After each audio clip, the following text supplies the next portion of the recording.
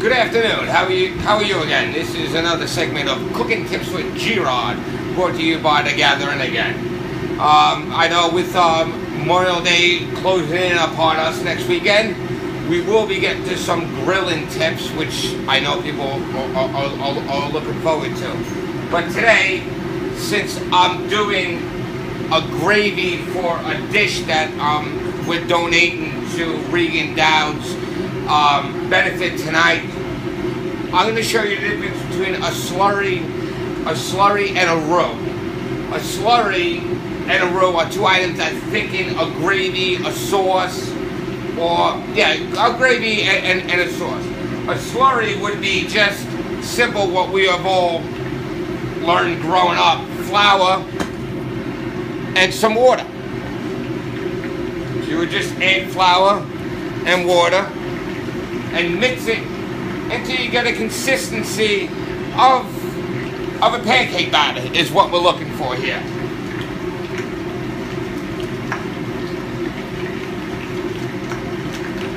Like so. Just the consistency of a pancake batter. That is flour and water and you have yourself a, you have yourself a slurry. A roux is a little bit different. A roux is butter like in this pan, I put a, I melted a stick of butter. A roux is something more that I stick with because I believe it gives a gravy and a stew just more flavor because of the butter and the fat content in the butter.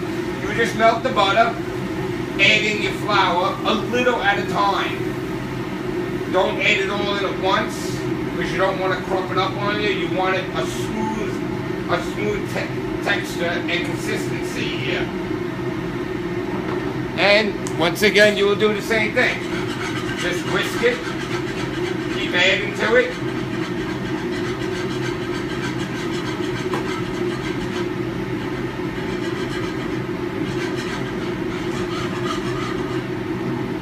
Some might like it thicker than others. It's, once again, it's depending on your preference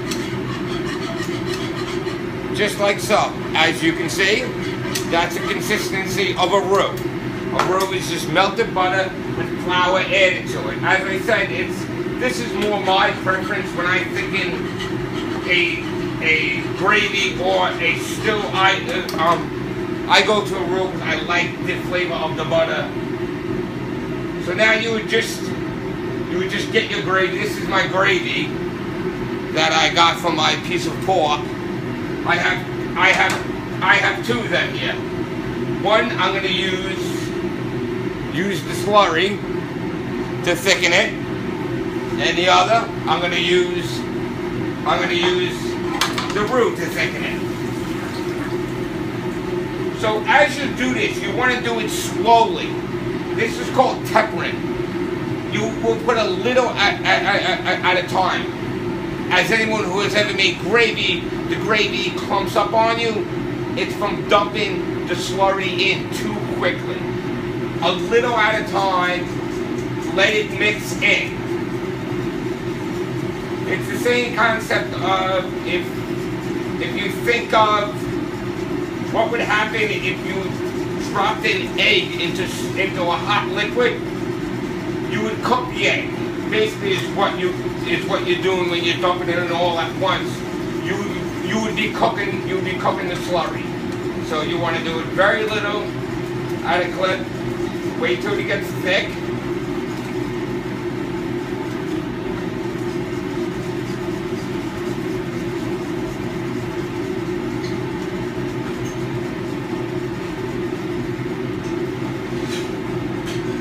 And there you go. You have a thick gravy. Some people might like it thicker, thicker than others. That's your preference. And we will do the same thing with the roux into the other gravy. Very little, very little at a time. At, at, at, a time. Don't dump it in all at once. It's going to clump up on you. Like I said, you you're introducing something that is room temperature to something that is well above 200 degrees. You don't want to cook it. You just want to introduce to it, you want to introduce it to it little by little so it incorporates and blends in with your item.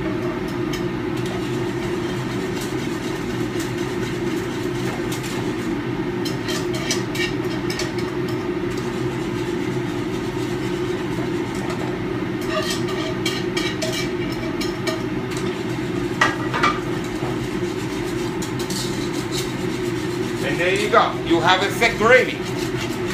One using a roux, which is melted butter and flour, and one using a slurry, which is water and, and, and, and, and flour. Okay, and if you wanted to do a bechamel white sauce, you would start with that roux and just add milk or heavy cream to it to thicken it up, and right there you would have a white sauce. You can add garlic, you can, and you can add white wine to it, whatever your preference is. Thank you very much for, for listening, and, and, and enjoy your day.